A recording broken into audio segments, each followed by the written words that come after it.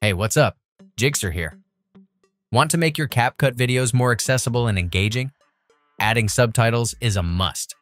In this video, I will show you the simple steps of adding subtitles to your videos directly on your mobile device using the CapCut app. Let's go.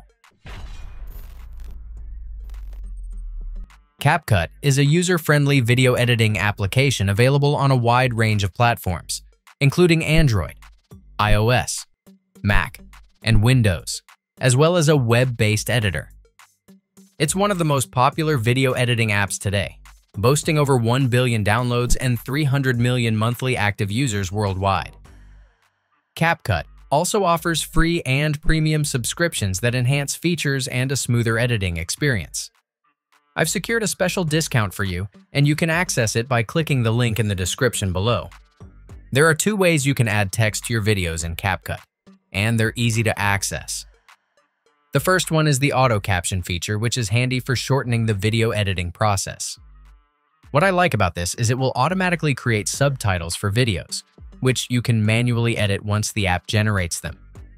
To use the auto-generated captions in CapCut, launch the app on your device go to the Edit tab and tap on New Project to select the video you want to edit. Once added, at the bottom of the menu, tap on Text. Here from the options, select Auto Captions. You can then select the language of the audio.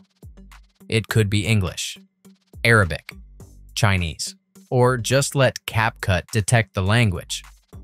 After that, tap the Generate button to add captions automatically, as it will only take seconds.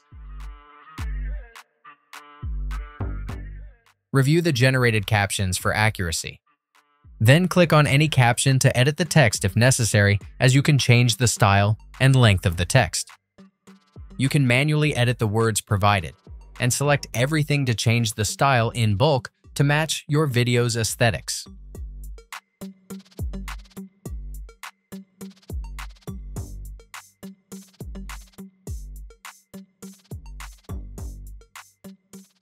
The other one is the manual video editing. This may be a little more complex in CapCut. Still, it lets you customize the text in your videos more precisely.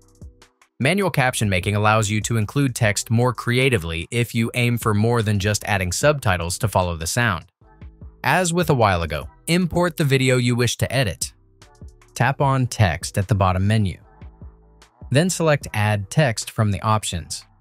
Now type the desired subtitle text.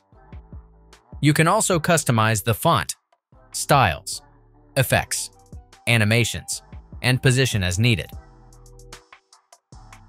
After that, adjust the text layer on the timeline to sync with the corresponding audio segment.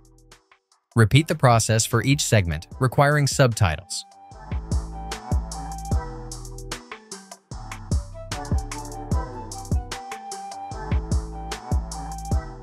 Once done with the adjustments, remove the CapCut ending. Choose the desired video quality, and then export the video. That's it.